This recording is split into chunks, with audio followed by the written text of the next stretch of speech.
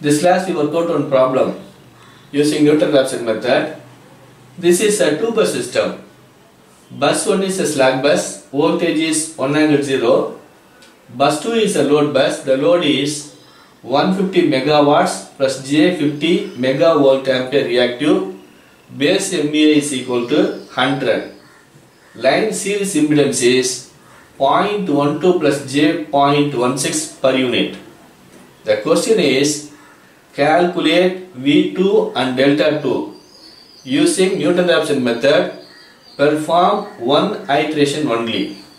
First step we have to form a Y-bus matrix. This is the Y-bus matrix of the system. 3 minus J4 this is in rectangular form in polar form 5 angle minus 53.13 this is 5 angle 126.87 this is 5 angle 126.87 this is 5 angle minus 53.13 degrees. Next I assume delta 2 is equal to 0 V2 is equal to 1 second step I have to calculate P2 and Q2 we know the formula.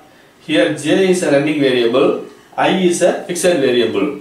I is equal to 2 J is equal to 1 comma 2 now I expand the equation. I substitute all the values calculated P2 value is 0 similarly we know the general formula of Qi here I is equal to 2 J is equal to 1 comma 2 expand the equation. Substitute all the values. Calculated Q2 value is 0 Step 3, I have to calculate the specified value of P2 and the specified value of Q2. P2 specified is equal to Pg2 minus Pd2.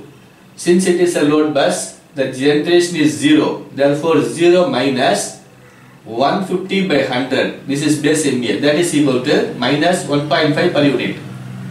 Similarly, Q2 specified is equal to Q2 generation minus Q2 demand.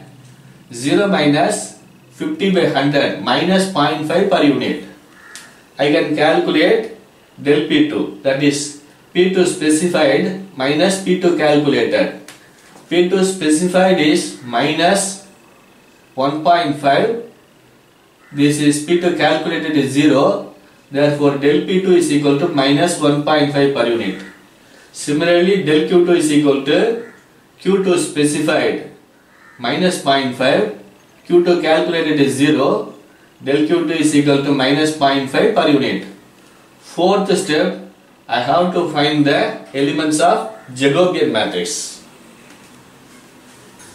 I did a mistake QA is equal to minus this is minus sign therefore QA is equal to this is minus sign this is minus sign not a plus sign.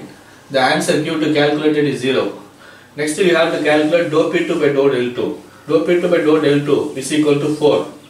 Dou P2 by dou modulus of V2 that is equal to 3. Dou Q2 by dou del 2 that is equal to minus 3. Dou Q2 by dou modulus of V2 that is equal to 4. So this is the Jacobian matrix. Step 5 I rewrite the matrix like this. Next I have to find the inverse of this matrix. This is the inverse of this matrix. Now I can easily calculate del del 2 and del modulus of V2. So the delta 2 value is minus 0.18 radians. The change in modulus of V2 value is minus 0.26. The new value is the old value is 0 and 1.